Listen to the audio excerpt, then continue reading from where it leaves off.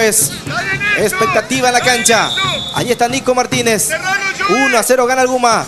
Martínez y el remate.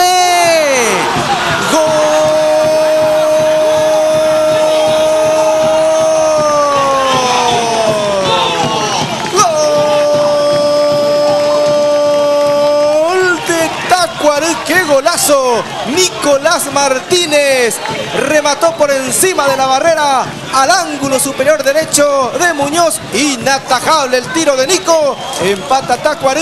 1 a 1 está el partido. Es una muy buena posición, decíamos, y pensábamos en la posibilidad de, de Nico, porque Nico patea muy bien, Nico ha, ha tenido la oportunidad de demostrar ya cuando estaba en, en Olimpia esa, esa posibilidad de patear de media distancia, y es más que nada el premio a él. El